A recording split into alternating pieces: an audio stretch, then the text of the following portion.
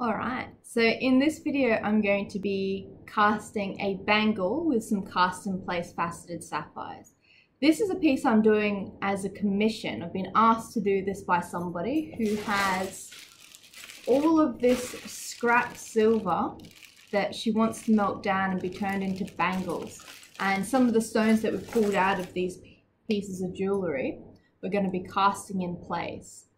Um, I'm also going to be adding in a few of my own sapphires just to balance it out a little bit. Um, I'm going to be doing two videos, so there'll be a part one and a part two because I'm casting two bangles and I thought I'd show you the two ways you can do it. The first way is using a big vertical flask and another way of doing it is using a big horizontal flask. So I'll show you how to do both of those the bangles I'm casting are these. So I just found that these at op shops. Um, I could carve them out of wax if I had something very specific in mind. Um, but I found them at op shops and they're pretty perfect for what I want. Uh, so we'll start off in this video by using the vertical flask. Okay, let's begin as always. So your male side of the flask, lip down, pack from behind.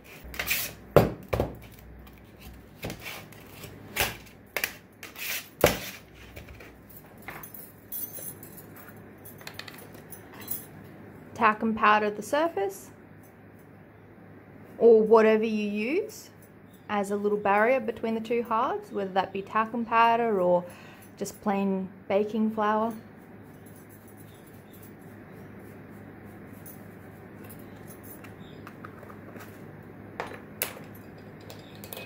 Alright, got my object.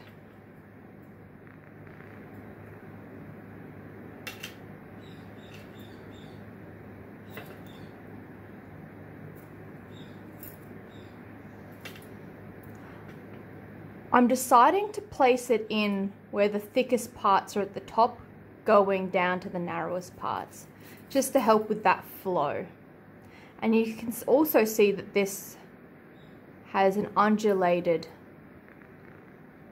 halfway point. So it's an undulated bangle.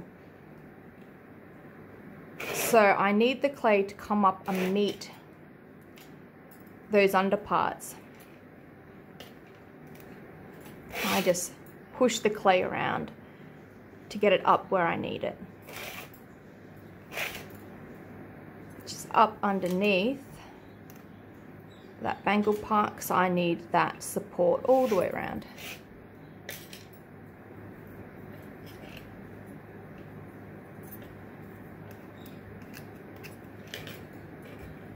It doesn't matter that there's these dips because your opposite side is going to have bumps to fit in those dips. So it doesn't matter.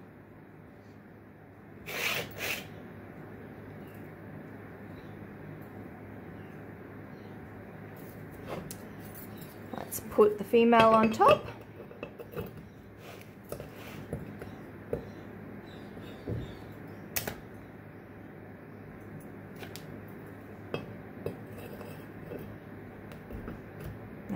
Making sure it fits inside your flask.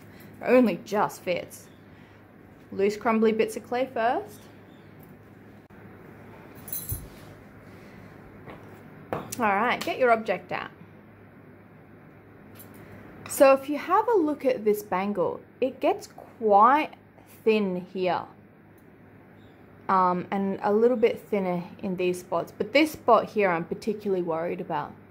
Um, so if I was to cast this bangle as it is right now, an exact replica of this, I have a suspicion that it wouldn't cast. The metal would cool down too quickly before it got to any, like it wouldn't fill the whole bangle. It would cool down too quickly um, and not form properly. But if we want to have a version of this, but a thicker version, we can do that in the clay. Got to try and remember how this bangle went in. It's always a bit tricky. Not like that. Alright, so that's it there. So we're to make this bangle thicker. which means we're to push this bangle impression deeper into both halves of this flask so that your silver version will be a thicker, deeper version. Which is why it's really important to make sure the backs of your flasks are flush. Because as you're pushing on that clay, you don't want it to give way. If this was a concave, then the clay would just give way and you'd have a big mess when you cast. So this way, it's a lot cleaner and you have that clay being supported. I'm actually using my full body weight to try and push this deeper. Try not to touch the clay itself because wherever your fingers leave an impression, silver's going to rush to fill that. Okay, pushed in a bit deeper on this side. Got to try and remember which way it fits in. Flip it over and push it in deeper on this side as well. Again, I'm using my full body weight to try and push that bangle deeper.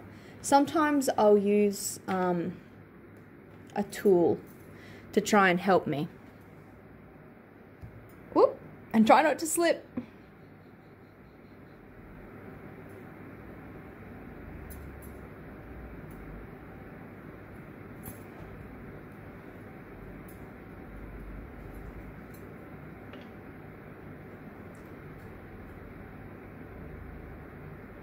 So the part I'm most concerned about is the really thin section, which is around here. So I'm going to focus most of my pushing on that area to make sure it is nice and thick. Mm, let's pull that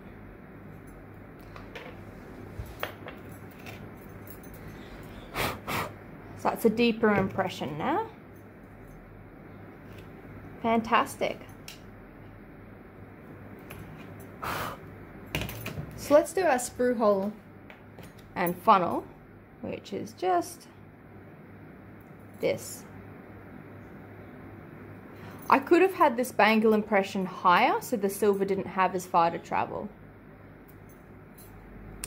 Sometimes that can really help with your um, casting um, in the sense that the silver's really hot when it's being forced into that impression but I think it'll be fine for this one. But if for some reason this didn't cast properly, I would then do it again, but moving that bangle up higher. So I'm using the back of the paintbrush just to clean up those loose bits of clay. You want to make sure your funnel and sprue hole are always nice and clean with no loose bits of clay. You don't want that loose that loose clay following your silver in to your object. Creates all sorts of nasty things like porosity and weak points. Or it can actually just stop your, um, your casting from forming at all. Now I'm going to resize the bangle. The bangle currently is a bit too big for my client's wrist. So I'm very lucky to have access to a 3D printer. And I asked my partner to 3D print me a bangle in the size required, which is 61 millimeters diameter, inside diameter. Uh, if you don't have access to a 3D printer like I do, um, if you have a bangle sizing kit, you can use those. So you should be able to buy them from any jewelry supplier. Now I'm getting this bangle size and I'm going to use it like a like a cookie cutter.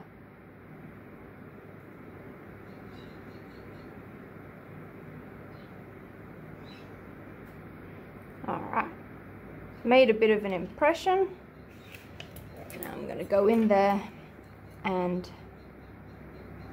cut out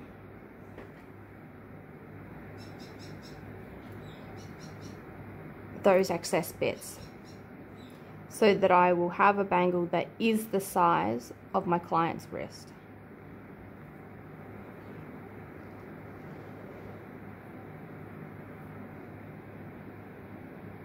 With a bangle like this that's um, undulating. It's a little bit trickier because I'm going to have to go in and blend and blend where I've cut out this extra clay.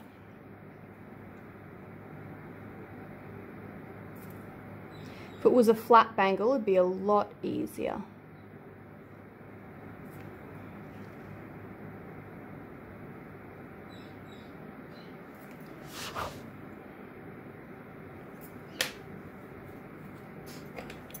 I'm going to use this embossing tool and I'm going to clean up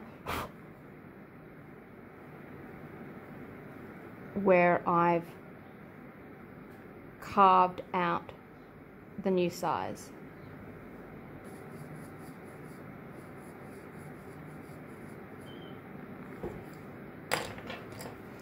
If I'm worried about the inside of the bangle where it would sit on the the wrist I can clean up that vertical wall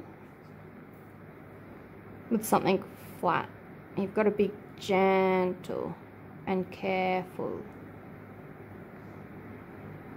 See how I'm pushing that clay down, smoothing it down, so that I've got less filing work to do on the bench. And then have to come through and clean that up. So the cleaner your the cleaner your mold is, the less work you have to do on the bench. But sometimes you sort of got to weigh up if it's worth the effort in the clay to save time on the bench or if it would just be more efficient to clean something up on the bench. Now we've got to do the same thing to the other side.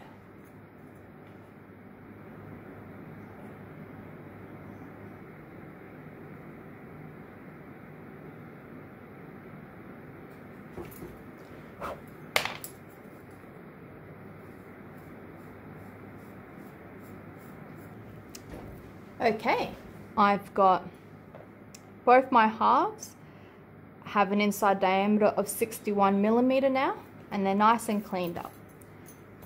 The fun part of placing stones now. Some of her diamonds are just too little to cast in place. So I find one millimeter diamonds are too small, uh, but you can kind of get away with 1.3 millimeters. So, you know, one pointers. You can get away with one pointers.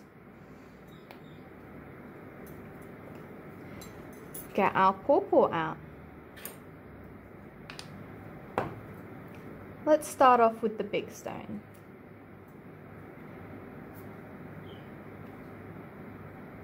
Bit of pawpaw on the table of that stone.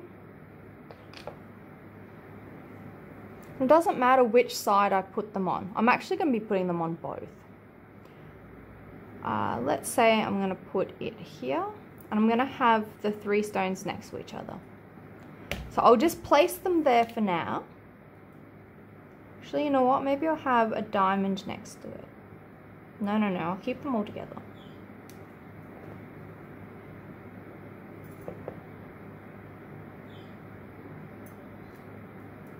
So at the moment, I'm not doing much other than putting them in. Let's move that out of the way. Okay, I want to put grains with these stones. So I've got my embossing tools and they have a variety of different balls at the end of them.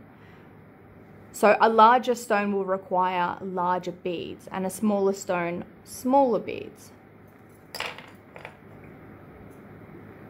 So I think maybe that's about right for that center stone. But what I might do is have it that these stones are, they're sharing a grain. All right, so that's ideal where you can, the stone is covering half of the hole. That makes sense. So the little impression you've made that are the grains, you want the stone to be sitting half over them. That means that when the grains are cast, the silver is going to be half over the stone, holding that stone in place, which is perfect. That's what you want.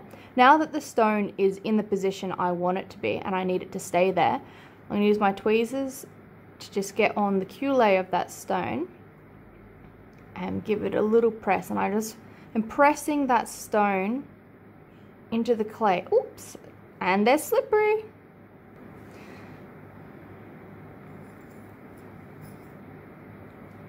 Okay, so we've got that stone really close up against that Oh, other big stone. Let's put that grain in there. Bring that stone back into position. That's going to be sitting about there. Again, pushing on the back of the stone on that pointy part. It doesn't have to be much. So it's quite important to remember that you need to be able to see the girdle of these stones. If you can see the girdle, it means the silver is able to grab a hold of it and hold that stone in place. If you can't see the girdle, if the girdle is in the clay, it means you've pushed the stone too deep. And that means the silver's got nothing to grip onto. It's just going to hold onto the pointy part of this stone. And then once you've cast it, your stone's just going to pop out of that silver because there's not enough metal holding the stone in place needs to be able to wrap around and slightly over that girdle. Can you guys see that?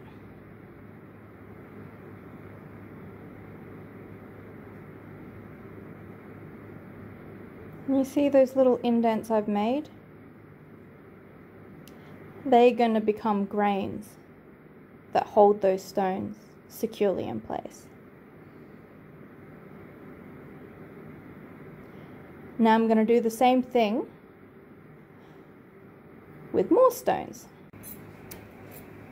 I've now placed stones in both halves. I'm just trying to show you.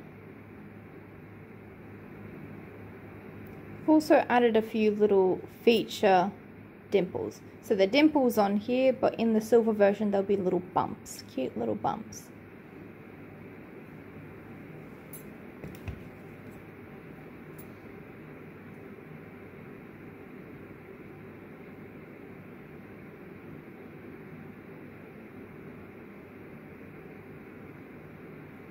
Now all I have to do is add air vents and I can cast this.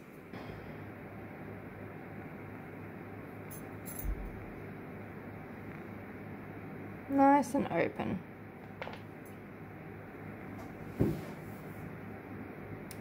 Let's close this up and cast.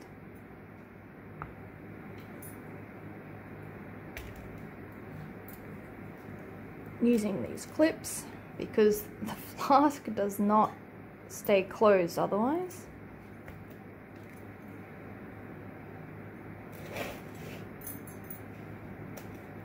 Just giving it a bit of a press. Make sure these two clay halves are snugly fit together so we don't have leakage. Being careful not to close my air vent. Ready. I've got a bunch of the client's metal ready to melt down. And if I need more of it, I've got it set over here so I can grab it easily. I've also made sure to pull off all of the Parrot clasps and Bolt clasps from the chains because they have little metal springs inside of them, steel springs that you can't melt down and it'll get caught in your metal and cause all sorts of problems. So you will have to pull these clasps apart to remove the steel spring before you can melt them. I've also got some borax handy because this metal might not be very clean and I might need to clean it up with a bit of borax. Got my mini Smith torch, which is attached to LPG gas and an oxygen cylinder. And I've got the pressure turned up quite high on my regulator.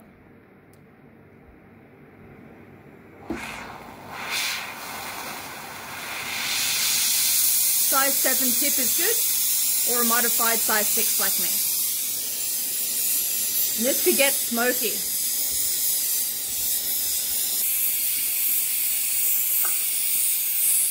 Look at all that crap on top. Let's get rid of it. Some borax. Give it a good little shake.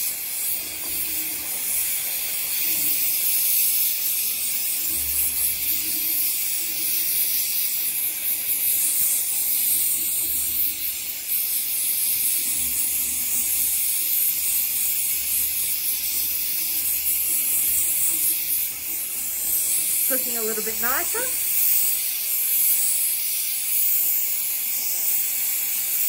Doesn't hurt to have more metal than what you need. I'm going to put some more metal in just in case. It's always good to have about 10 grams more than you need.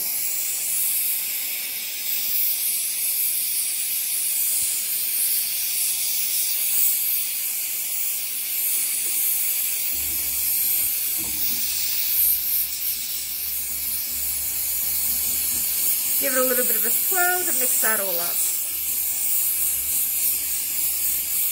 Okay, let's cast.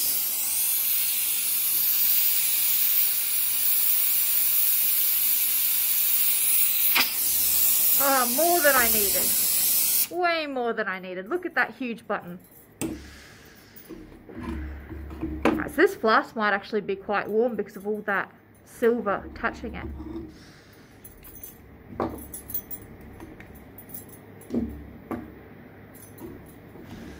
Clay should be cool enough to touch at the moment. Alright, is not too hot. Not yet anyway.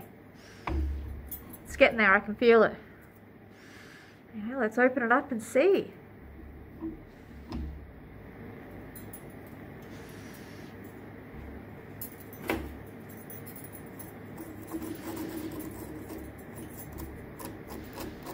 Cool, so there's a little bit of spillage that's fine. We can clean that up on the bench. Another reason why this flask could be a little bit hot to touch is that the silver's actually touching it in multiple places. And look, the silver shot down the side there. So I have a little bit more to clean up than I originally thought. But I've got a cast bangle. And as far as I can tell, those stones are cast in place.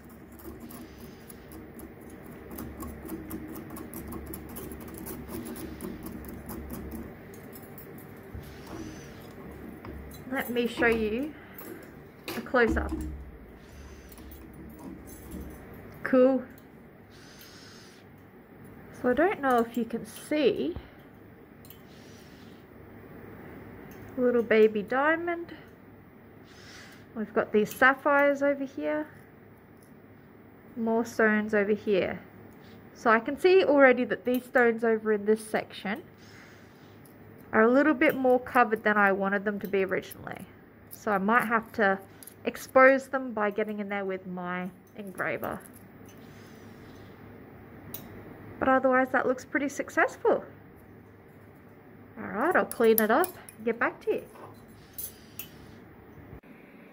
So one of those little diamonds did move. You can see there it actually ended up inside of the bangle right there inside. But I kind of like it there. I think it's a little bit cute, like a secret little so stone set inside. So um, I'm leaving it there. And I set another diamond where it used to be. So I didn't put enough pawpaw on it, obviously, and it got washed away, swept away with all that molten metal. Um, I've gone over these beads and tighten them up. Gone over them with my beater to tighten them up, make sure they're round. I've gone in with my engraver and I've removed some excess metal that was over the stones so that we can actually see these stones because some of them were pretty much fully submerged. Just means that I didn't push them down hard enough. It's a very fine line between doing it too much and not enough.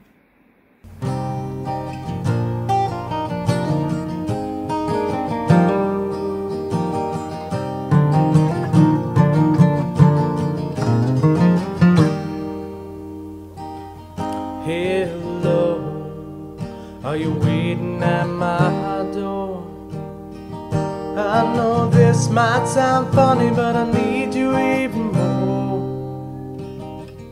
Embracing on the day you passed away. If I'd have known I'd make that moment last forever and a day. Let's take a trip down memory